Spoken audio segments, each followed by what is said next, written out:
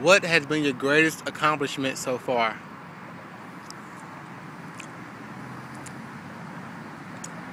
My greatest accomplishment has been this way my life I feel has turned around. Um, I'll say today, I'm a totally different person than I was four years ago. Um, January 31st, 2008, I really feel like God was speaking with me, how He wanted me to change my life around, and I live for Him. And ever since that point, I've really made gradual steps to improve my life, um, morally, ethically, um, making much better decisions. And I feel like that's that's my greatest accomplishment so far because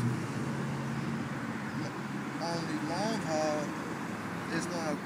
my life better and, and, and, and I feel like God is more pleased on what I'm doing. So that's why that was the greatest accomplishment. It's the longevity of doing that.